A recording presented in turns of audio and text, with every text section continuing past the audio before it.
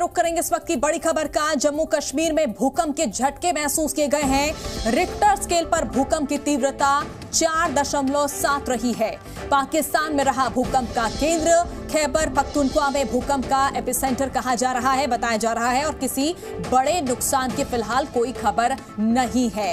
इस वक्त की बड़ी खबर आपको बता रहे हैं। भूकंप के झटके महसूस हुए हैं जम्मू कश्मीर में और इसकी तीव्रता जो बताई जा रही है रिक्टर स्केल पर भूकंप की तीव्रता चार दशमलव सात रही। तो पाकिस्तान में भूकंप का केंद्र रहा है। खैबर पख्तूनख्वा में भूकंप का सेंटर इसे बताया जा रहा है और फ़िलहाल किसी बड़े नुकसान की खबर नहीं है। इस वक्त की बड़ी खबर, भूकंप के झटके महसूस किए गए जम्मू कश्मीर में, जम्मू कश्मीर में। ये झटके महसूस किए गए हैं और सबसे बड़ी बात यह है कि कोई भी नुकसान की अभी तक कोई खबर नहीं है, लेकिन इसकी तीव्रता चार दशमलव सात बताई जा रही है ज़ाहिर तौर पर। हर कोई दहशत में होगा, लोगों में डर बना हुआ है। पाकिस्तान में इसका एपिसेंटर बताया जा रहा है, खैबर पख्तूनख्वा में इसका एपिसेंटर बताया जा रहा है, जम्मू कश्मीर में ये झटके महसूस किए गए। ज़्यादा जानकारी के लिए हमारे सहयोगी खालिद हुसैन हमारे साथ जुड़ चुके हैं। खालिद भूकंप के झटके महसूस किए गए हैं जम्मू कश्मीर में?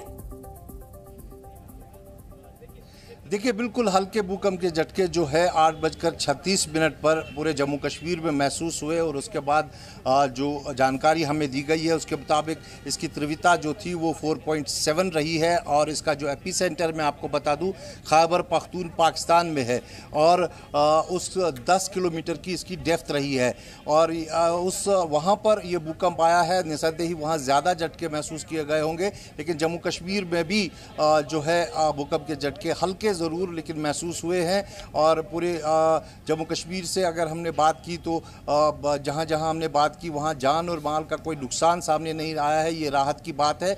लेकिन झटके ज़रूर लोगों को महसूस हुए हैं। 4.7 तीव्रता का ये भूकंप था और खैबर पख्तून पाकिस्तान इसका एपिसेंटर रहा है। जी। और किस तरह के इस वक्त हालात बने हुए हैं? क्या लोगों में कोई डर का माहौल देखा जा रहा है? किस तरह की स्थिति है?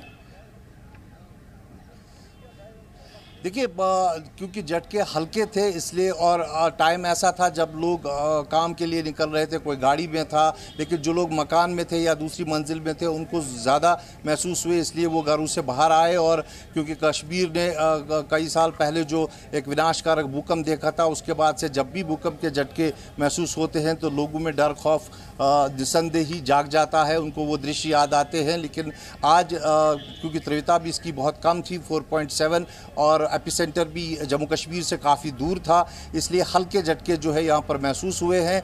और आ, लोग जो दूसरी मंजिल में थे या ऑफ़िस में अपर स्टोरीज में थे उनको ज़रूर ज़्यादा झटके महसूस हुए और वो हम्म। कोशिश की उन्होंने कि वो खुले में आ जाए। लेकिन राहत की बात कि खालिद हम आपसे आगे भी अपडेट लेते रहेंगे। फ़िलहाल आपका बहुत बहुत शुक्रिया तमाम जानकारी के लिए। तो जम्मू कश्मीर में भूकंप के झटके महसूस किए गए हैं और इसकी तीव्रता चार दशमलव सात बताई जा रही है। Z News.